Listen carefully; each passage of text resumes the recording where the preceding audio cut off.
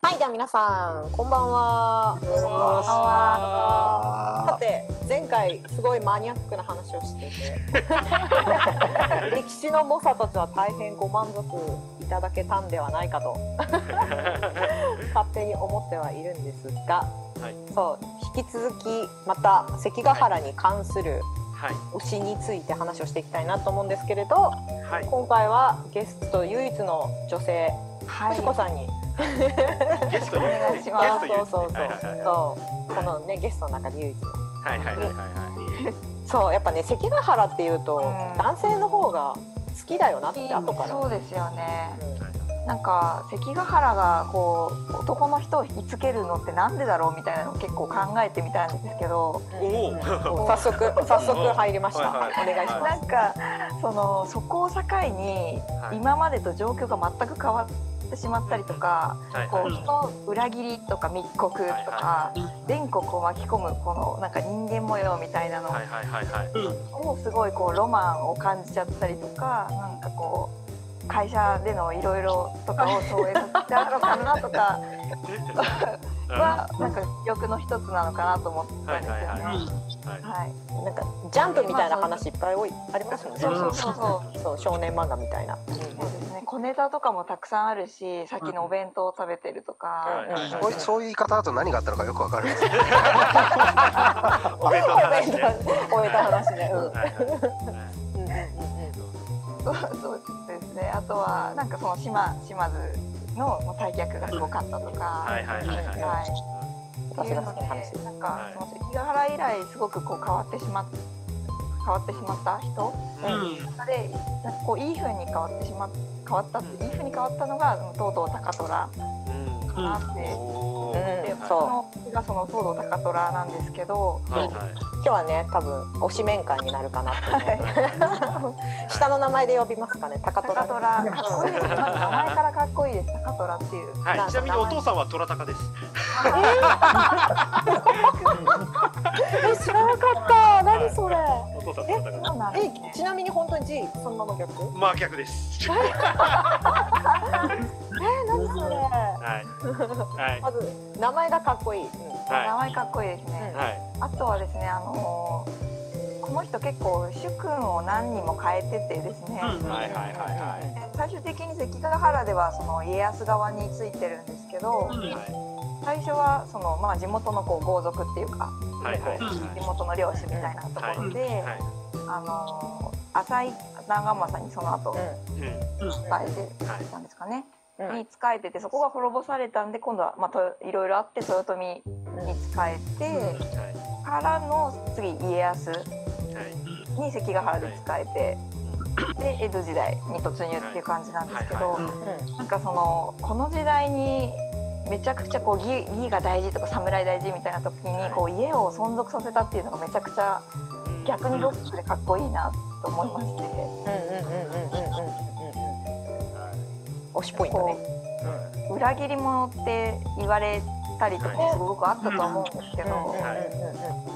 なんか結局その人のこう生き残る選択で最後こう家は栄えたりとか関ヶ原の後はこうたくさん領地を与えられたりとかしているのでうんうんうんうんなんていうかその、まあ、ちょっと時代に反する生き方じゃないですけどはい。うん。うん生き残る選択をしてきたっていうのが、まあ、すごくかっこいいなと思あってるポイントですね。ーなるほどは推しポイントね推しポイントです。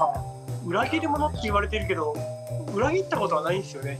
あ、そうそうそうそうそうそう。主君は変えてるけれども主君は全部滅びてっちゃったからそうだよね食うともらわなくなったからはいっていう感じでもって言ってるんですよね確かね。そうそうそう。で自害とかそうなんですだからねいきなり藤子さんの話をぶった切っちゃいますけどあ大あの仕えた大名をあの栄えさせたんじゃなくてこの人が仕えた大名は 全部滅亡してるんで。す 実はね。貧貧乏神みたいな、はいまさに貧乏神。逆なんです実は。できますね。そうはい。そういう見方もできるよ。大丈夫、はい。そうだからあの司馬遼太郎の作品だと東堂高太郎は本当にその願いって貧乏神でしかもおべおべつおべんちゃらなことをやってるっていう武将として描かれてるんで今でも司馬遼太郎が好きな方からすると東堂高徳ってすごくイメージ悪いと思うあはい。いやー。ー入りが違うからね。そうなんです。でちなみに、ねさっきね、はいはい。ちょっと話して出てた、うん。戦国無双でなんで氷属性かっていうあ話の。ちょっとそう前前提の話をすると藤子さんが東堂高虎に惚れた理由はーは戦国無双のの東堂高虎が。イケメンだイケメンだったから。イケメンっていうかなんかちょっとツンツンしてるんですよね。ツンツンしてるけど、はいまあ最終的にはお前のこと認めてるみたいなところが なぜ今歴史の話してませんでしたごめんなさい積んでるねそう積んでるね。そうはいはいはい住んでるそうはい積んでるね。それでその戦国無双の中での高虎が氷属性なんですよ。属性っていうので。はいでなんで氷なのって話をマイトさん。はい。はい、なんで氷属性かっていうのはさっきの流れですよね使えた大名が全部滅亡してるから不適されたから氷属性なんですどうせ俺なんてってあのあの作品やってみたら分かる。多分藤子さんは分かると思うんですけど基本的に不適されてるんですよ。さっきみたいにこの歌こんながってそう。はい、それはどうせ俺が使えたとこなんかみんな滅亡するんだっていう不適されなんですよへー だから心は冷えてるっていうところは多分そこから生まれてるんですよちょっとシニカルになっちゃったんでね。はいこじらせたんだね。こじらせたっていう設定が多分あれになってるんですけどなるほど多分そういう史実から見る高虎のイメージはもっと熱い男だと思うんですようんね。ね。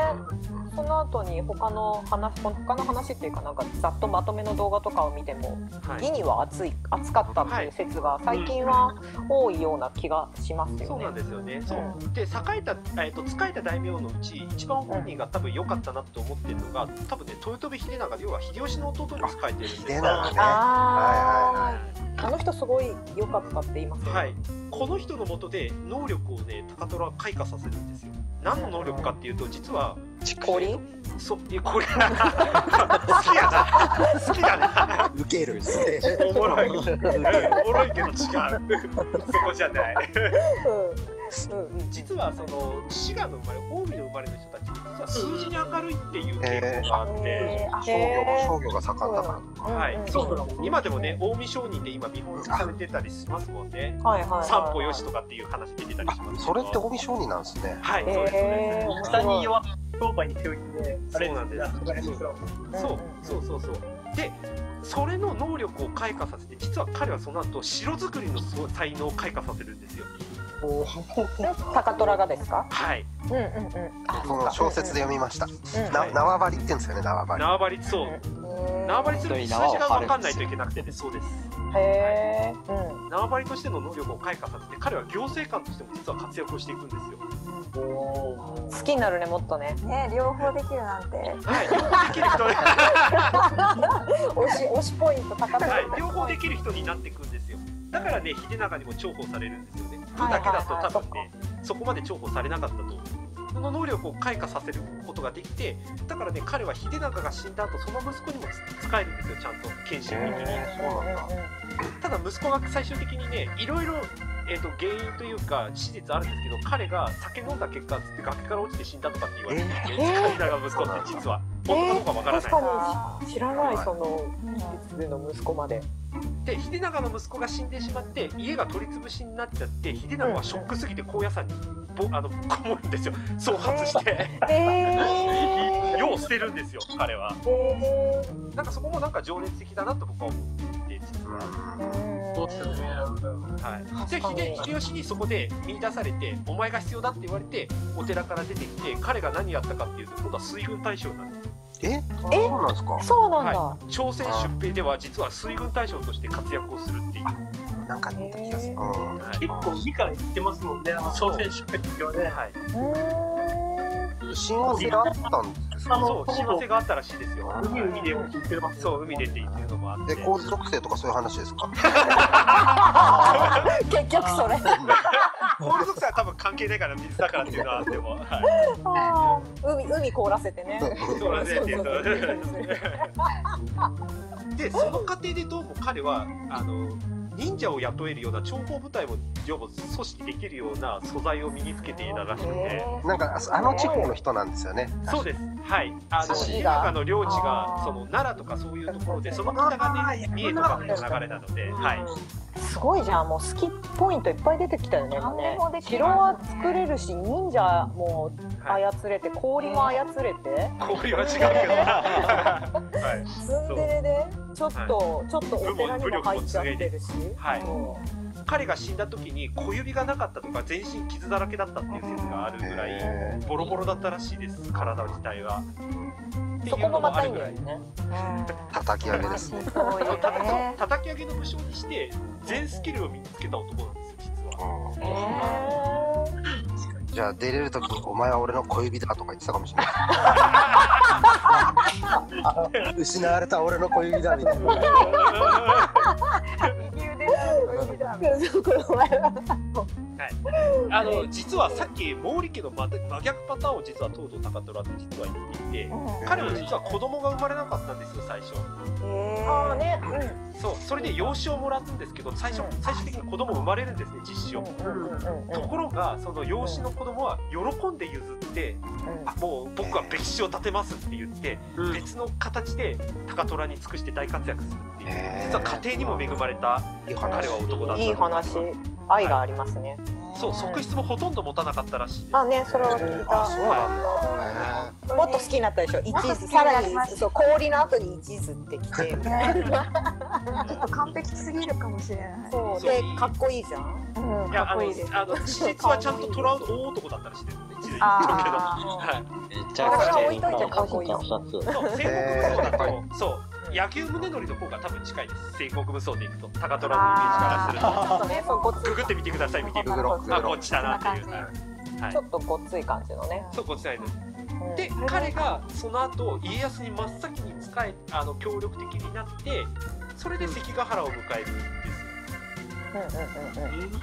でその高虎が実は戦った相手が大谷義次だ大ったん谷です義ね大谷義 そう今女性ファンが大活躍大急増中の それでセットだったのか。そうそうそうあ、なるほどね。そうかっなんですそうそうなんです切ないよね戦国無双だと結構切ないストーリー、うんはいストーリーで迎えるそう最最初は浅井の時は一緒に戦って、ねた。そうなんだ。紆余曲折そうしてはい関ヶ原ではいぶつかって、えー知らなかった。涙涙の戦いがありみたいな。っていうさえで、義継は何属性なんですか？義経なんだけど義経多分ねあのねあのねセンスで戦ってた。そうセンスで戦う。センスじゃない。あれね軍配みたいなやつね。軍配みたいなやつ。違うじゃん。あーあ そうそう。軍配そうでもなんかその剣とかじゃなくて、うん。そうあの魔軍配で。法魔法使い系ですよそう魔法使い系だった。はあの戦国バサラだと闇属性で空に浮いたり包帯で 使う。そうそうそうそう悪役悪役。悪役ですね。そうなんだ。まあ大谷義次って何でしたっけ？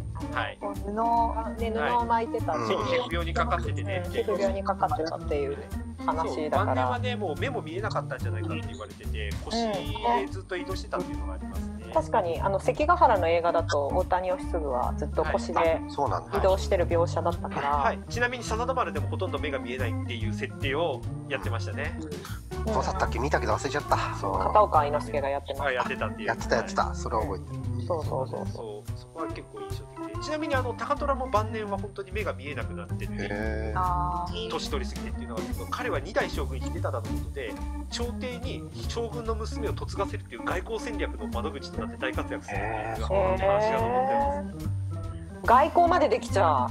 ーね。ね、好きポイントがどんどん増えるっていう。う頭良かったんでしょうねすごい。うん。ああ叩き上げでそう。であの彼はあの家臣もすごく本当に大事にしていて有力な家臣には全部名字で東堂って与えててみんな家族だよみたいな形を作ってた人でもいる。ファミリー。ファミリー。な感じを作ってたんです。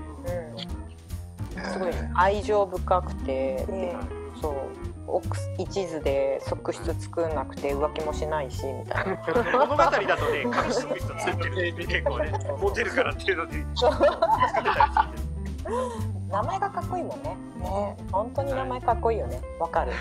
そうねそうそうで確かに大谷義次とのそのシーンは無双ですごいあのもそう女性ファンのハートをわしづかみにする。はい。で最後あの大谷義嗣のはい。首を唯一、そうなんだ。うん。跳ね跳ねちゃう。あえっともね、正確に言うと持ってくるんですよね。あ持ってくるんだ。えっと史実上最近それでは否定されているんですけど、大谷義嗣は自分の首がさらされるのを嫌って、うんそうそうそう。いうあの信頼できる、うん。あの歌詞に切ったものを隠せって言って隠すんですけど、その隠したところで高虎の家臣と遭遇してしまって、うん。うんその高虎の家臣と一騎打ちをやって、その大谷義嗣の有力な家臣が死んでしまうんですね。うん。えー、でまあね。うん。そいつがね、掘ったであろう場所を見つけちゃって、高あの大谷義嗣の首は見つかってしまうっていう。そうなんだ。えー、でも高虎は家康に渡さないで自分のお墓を建てたのあ、そうなんだ。、はいみたいなことを言われてますね。うんはい。え、知らなかったね。そのぐらいこうなんか渡せ渡せませんって家康を突っぱねたっていう。いう話があるっていう、はい。